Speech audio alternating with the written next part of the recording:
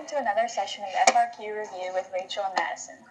On this episode, we are going to solve the AP Calculus AB 2014 Form B Question 4 FRQ. This is a non-calculator question, so don't cheat yourself. It covers area under the curve, concavity, and the second fundamental theorem of calculus. The continuous function f is defined on the interval negative 5 to 8. The graph of f, which consists of four line segments, is shown in the figure above. Let g be the function given by g of x equals 2x plus the integral of f of t dt. This means that g of x is 2x plus the area under the curve from f of f of x from negative 2 to x. Part A. Find g of 0 and g of negative 5. To find g of 0, you have to plug 0 into the equation where x is.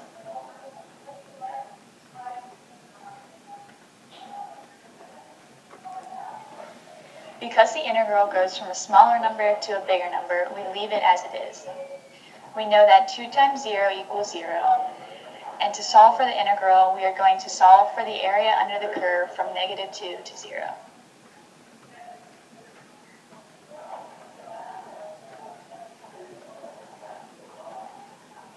To solve for the area under the curve, it is easiest to split the graph into shapes and find the area of those shapes.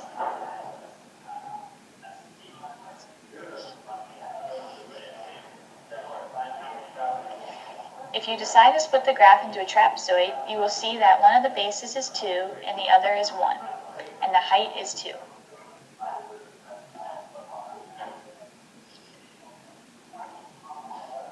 So your equation for the area of a trapezoid will be area equals 1 half 2 plus 1 times 2. Once you solve that, you should see that the area equals 3.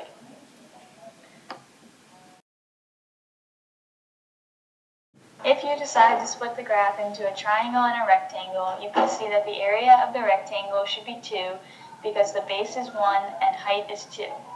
And for the triangle, the height is 2 and the base is 1.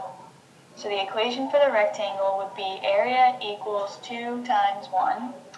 And the equation for the triangle would be area equals 1 half 2 times 1. Because you split the graph into two different shapes, you now need to add their separate areas together so you can get a total area of 3. Now to find g of negative 5, you have to plug negative 5 into the equation where x is.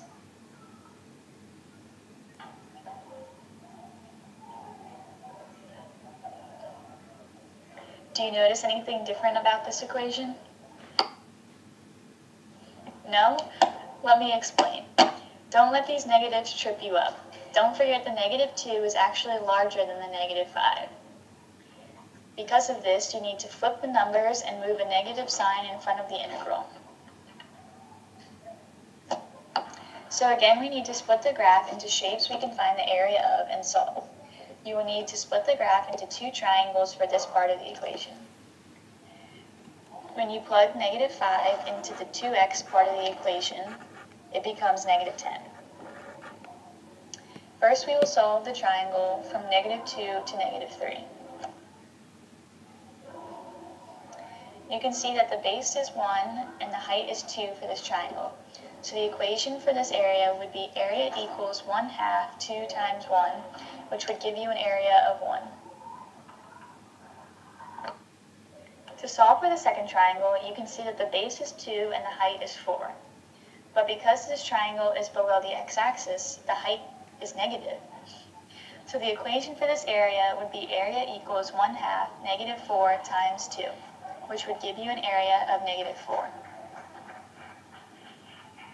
Because you split the graph into two different triangles, you now need to add their separate areas together so you can get a total area of negative 3. Now the equation should look like g of negative 5 equals negative 10 minus negative 3.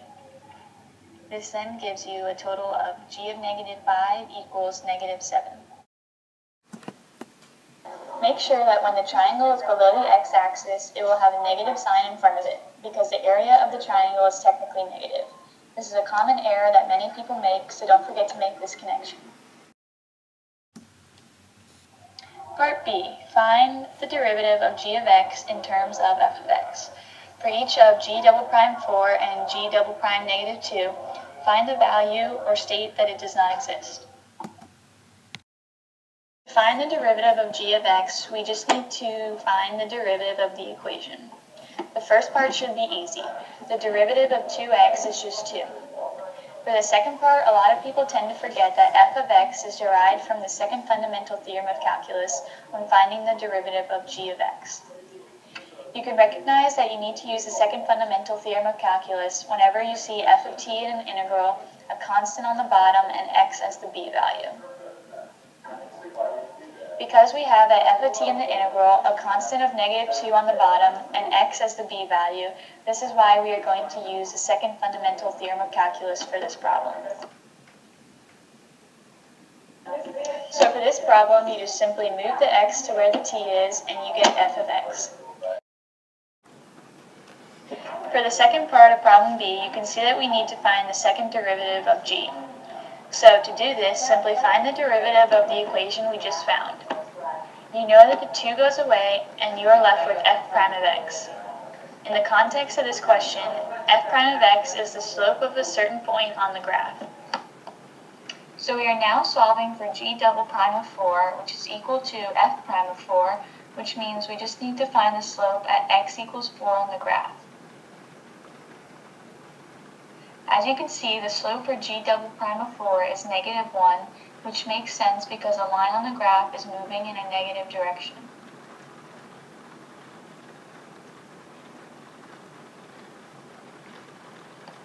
Now we are going to solve for g double prime of negative 2, which is also equal to f prime of negative 2. Because the limits are not the same from both sides, and because the slope goes from positive to negative at this point, the slope does not exist. Part C. On what intervals, if any, is the graph of g concave down? Give a reason for your answer. In the context of this problem, this means that since we are looking for the graph where g is concave down, this means that we are, need to find where g double prime is less than 0. And we know that from part B that g double prime of x equals f prime of x. So we are essentially looking for where f prime of x is less than 0, or in other words, where the slope of the graph is negative. This is where you should see a negative slope on the graph of f. For this problem, the answer is negative 2 to 0 and 2 to 8.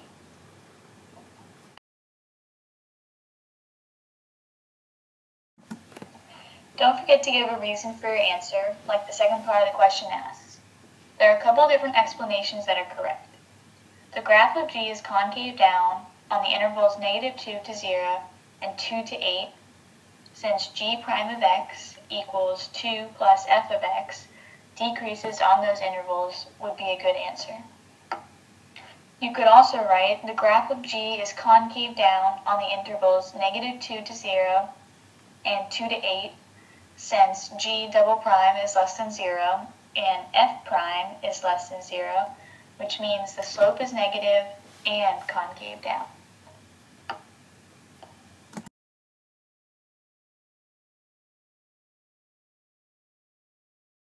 Part D. The function h is given by h of x equals g times x cubed plus 1. Find h prime of 1. Show the work that leads to your answer. Make sure you read the problem as g of x cubed plus 1. This way it'll make more sense that you need to use the chain rule. Before we plug 1 into the equation, we first need to find the derivative of h of x. To do this, you need to use the chain rule. Before we solve a more complicated problem involving the chain rule like this one, let's try to solve a more simple one to make sure you know the basics. Try this one on your own.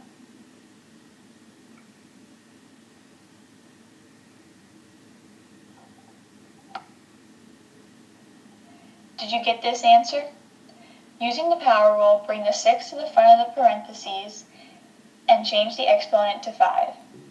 Leave what is inside the parentheses as it is, and then take its derivative and multiply it times the whole equation to get the right answer.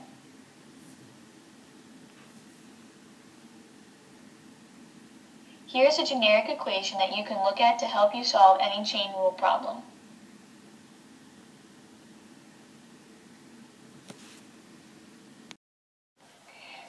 Remember how to use the chain rule, we can easily solve for h prime of x in this problem. You just take the derivative of g and leave whatever is in the parentheses, but don't forget to multiply it by the derivative of what is in the parentheses. Now you can plug in 1 to the equation, and you'll eventually get back to g prime of 2 times 3.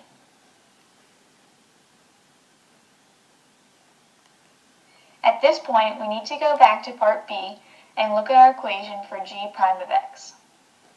We see that g prime of x equals 2 plus f of x. This means that g prime of 2 equals 2 plus f of 2 and now we need to look at the graph to see what f of 2 equals. As you can see, f of 2 equals 3. Now we find that g prime of 2 equals 5, and now we can plug this back into the original equation.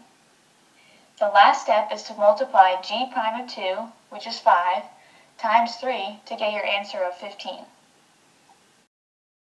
Thank you for tuning in to another session of FRQ Review, and we hope that our explanation made this problem a little more understandable. Good luck studying, and don't forget to strive for that 5.